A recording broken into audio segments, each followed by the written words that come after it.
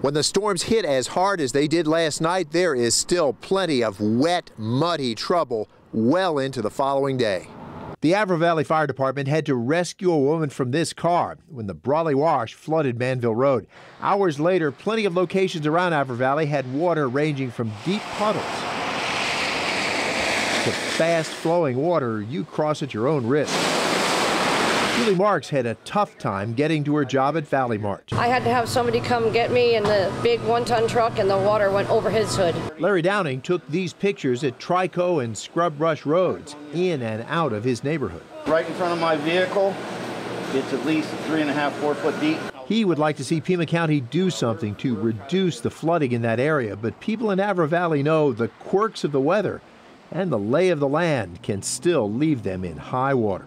Is this the kind of thing where you just kind of go like, well, that's how it is here sometimes? Yep.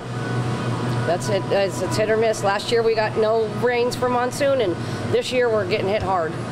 So you just never know. Can you do anything different, or you just roll with it? We'll get a bigger truck.